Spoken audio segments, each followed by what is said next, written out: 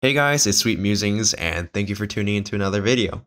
This time, I'm here to explain everything that you need to know about scrolling in the game to help you know which scrolls are the best for you. Let's get started. Now, if you played MapleStory for even just a little bit during pre-Big Bang, you should remember that butterfly feeling you got when you saw a monster drop a scroll.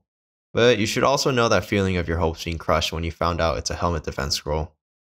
You might also remember the days of making a bunch of mules to farm up 60% glove attack scrolls or scrolling your sauna overalls for luck for your Dex of Sin. Even though those days are gone, most of those scrolls still exist today on top of many of the other enhancement features that have been added to MapleStory. As the name implies, scrolling is a process of improving the stat value of your equipment through the use of scrolls and spell traces. There are normal scrolls that end up in your use tab that you can double click to use on the equipment that you want, and there are spell traces that end up in your etc inventory. You might have heard the item perfected weapon or perfected gear. And many different people have different opinions about what a perfected weapon is. Is an item perfected when it's scrolled with prime scrolls, X scrolls, 15% spell traces? It's definitely a subjective term, in my opinion. But I just want to simplify everything and say that a perfected weapon or gear is one that passed every scroll from its available enhancement slots. Now, with that definition, you could even argue that a zero attack Garnier is a perfected weapon. But basically, I'll try to explain my point through some examples. Let's say you have 8 enhancement scrolls on your weapon, and you use golden hammers to add 2 extra enhancement slots.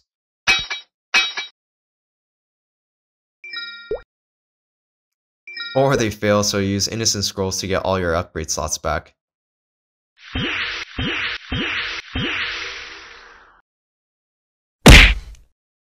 Innocence Scrolls reset all stats from an item except for its potential, flames, and soul. That means it resets all your scroll enhancements and even the hammers that have been applied. Alright, let's use a different weapon.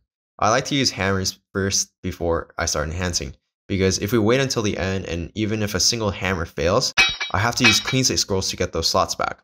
And that can be much more expensive than if we just had used an innocence scroll in the beginning and retried using our hammers. and now we just spell trace our weapon 10 times with 70% spell traces. So theoretically, by running some complex statistical analysis using RStudio, we should expect to see an average of 7 scrolls to pass out of 10.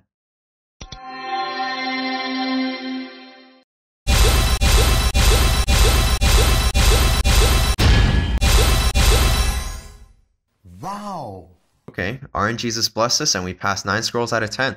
We only need one more enhancement to perfect our weapon. Do you use an innocence scroll and try again from the beginning until you pass all 10? Oh hell no! You want to use a clean slate scroll to be able to get your enhancement slot back and finish your weapon. To give a further illustration on scrolls, I'll try to give you guys an analogy, so hear me out. Innocence scrolls are like the trash cans chefs use if they mess up a dish.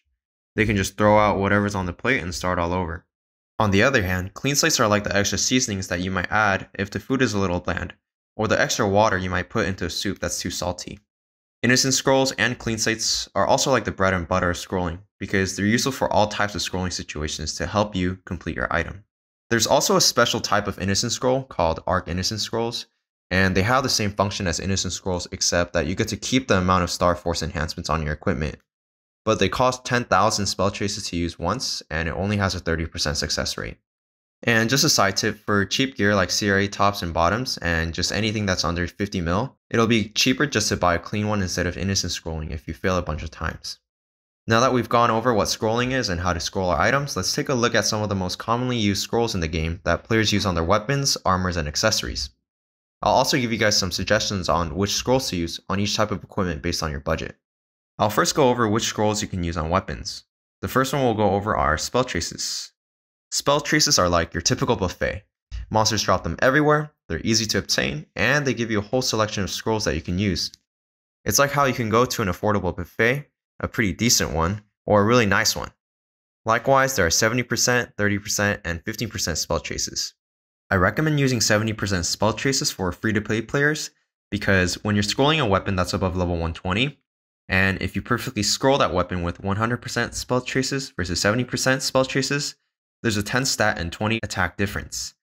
And actually, you can usually wait around not too long for a Spell Trace Fever Time event, which will increase the rates of success of 70% spell traces to 95%. And additionally, if you have some diligence and the 4% scroll success bonus from the guild skill, you're basically guaranteed to be able to pass all your 70% scrolls. In the same way, mid-spec players can opt to perfect their weapon with either 30% or 15% spell traces during fever time. 15% spell traces are actually pretty good for even some end spec players because they don't fall that behind in performance compared to the other scrolls that I'll be mentioning in a later part of this video. And even though 15% seems like a really low probability, combined with spell trace fever and bonus success rate from diligence and the guild skill, the success rate actually jumps all the way up to 39%. And next up, we have Prime Scrolls. Prime Scrolls are like a perfectly cooked, medium rare A5 Wagyu New York strip steak. It's expensive, it's delicate, and if you overcook it too much, you can completely lose a good piece of meat. Maybe even get you fired from the kitchen if you mess it up. You can get them from the Marvel Machine, Philosopher Books, and the Auction House. And like how you need to set specific parameters and precautions to make sure you don't overcook a nice piece of steak, you should use protection scrolls if you don't want your item to boom if it fails. And you should use Guardian Scrolls because a scroll is removed from your inventory regardless of whether it was successful or not when used. So the Guardian Scroll will prevent you from losing the scroll if it fails and save you from spending more Mesos to obtain another Prime Scroll. Also, keep in mind that Guardians and Protection Scrolls are consumed when the Prime Scroll successfully enhances the item. So you're going to need to use one of each for each try. I would recommend waiting until there's a cash shop sale for those scrolls. Also, make sure that the equip you're trying to prime scroll has 12 or less stars because protection scrolls do not work on equipment that has more than 12 stars. These scrolls are definitely more for end-spec users because of their cost. Next up, we have magical scrolls. Magical scrolls are like kombucha. Kombucha and other fermented teas became popular a few years back, and while most industry experts thought it might have been a fad, it's starting to become a staple in 2020. Magical Scrolls also came out last year and is starting to be used more commonly by some players. Most people still like to stick with Prime Scrolls, but Magical Scrolls are not a bad option if you don't want to go through the hassle of priming, because Magical Scrolls have 100% success rate, so you won't have to worry about using Protection or Guardian Scrolls. And on average, your weapon will end up with very similar stats to Prime Scroll weapons. And lastly, for weapons, we have X Scrolls. X Scrolls are like caviar or foie gras.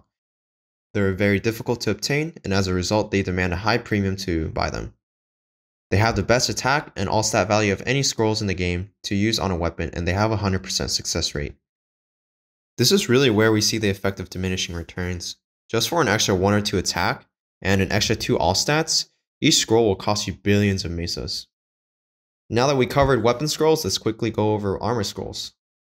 So similar to weapons, for most casual players, I would recommend using 70% spell traces during fever time to scroll your armors.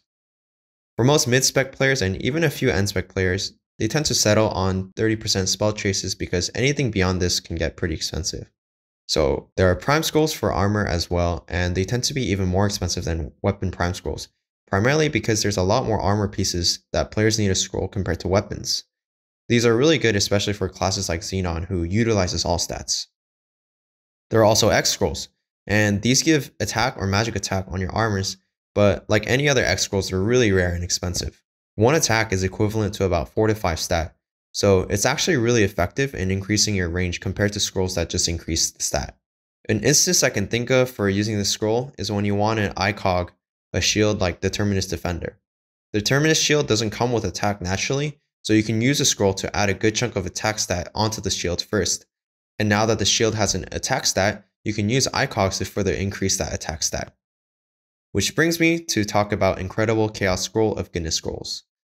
I didn't mention the scroll yet, so I'll compare using the scroll to going to an expensive wine tasting event. You don't know how each bottle of wine will taste until you actually take the first sip. If you like it, you buy the wine. If you don't, move on to the next.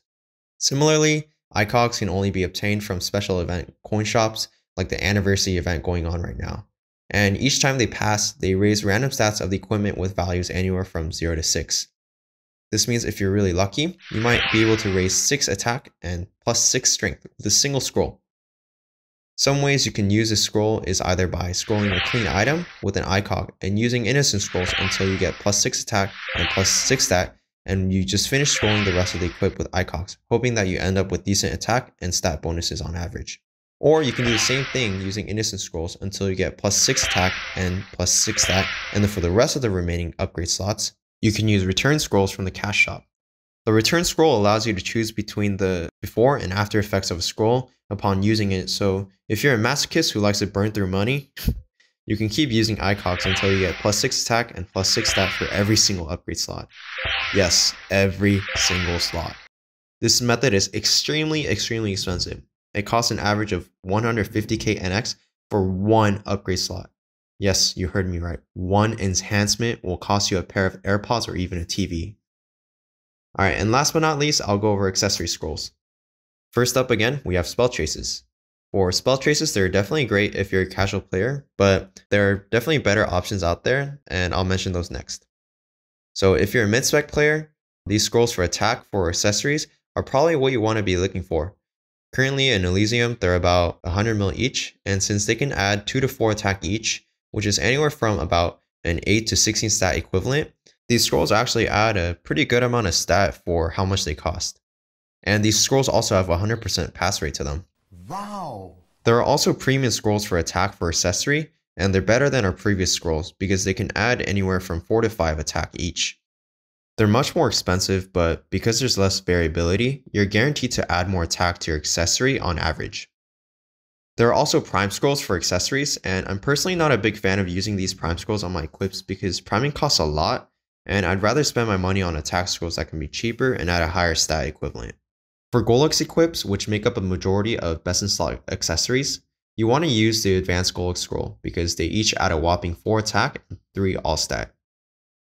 There are also X accessory attack scrolls, and they're even better than premium scrolls for accessory for attack. But if you're going to try perfecting your accessory with the prices of these X scrolls, you might as well go for our last option, which is again using ICOGs. Yes. You would use the same methods as we did with armors, It'll still be really expensive, but definitely a lot less because accessories tend to have lower upgrade counts. And although spell traces work on shoulder accessories, no armor or accessory scrolls will work on them. But ICOGs do. So you can take your time upgrading your shoulder because after you hammer them, they only have 3 upgrade slots. You can innocence them until you get the plus 6 attack and plus 6 stat. And then you can ICOG with return scrolls for the remaining 2 slots. Just a tip too, even though two return scrolls isn't a lot when using this method, they're still available in the reward shop. Now that should have covered everything we need to know. Wait, no, what about us? Oh my, alright fine, let's quickly go over those as well. For Android hearts, you can pretty much throw any attack or magic attack scrolls on them and they'll work just fine. If you don't care about money, you can even X scroll your Android heart and end up with a heart with crazy high attack.